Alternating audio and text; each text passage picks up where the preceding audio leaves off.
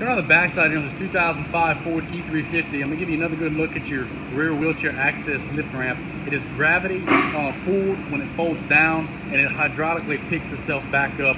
It's a nice piece, it does work. Keep watching the videos. I'm gonna get a video of it working for you. Um, going on the passenger side, you see there's no major body damage along the side of the bed here. Other than a couple minor dings and dents along the side of this van, uh, overall there's no major damage that we can find.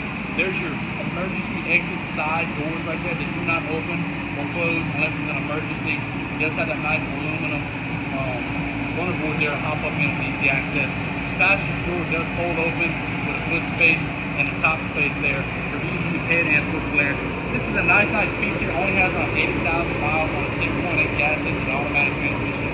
Only lost the time at Brickhouse Auction, 40 call.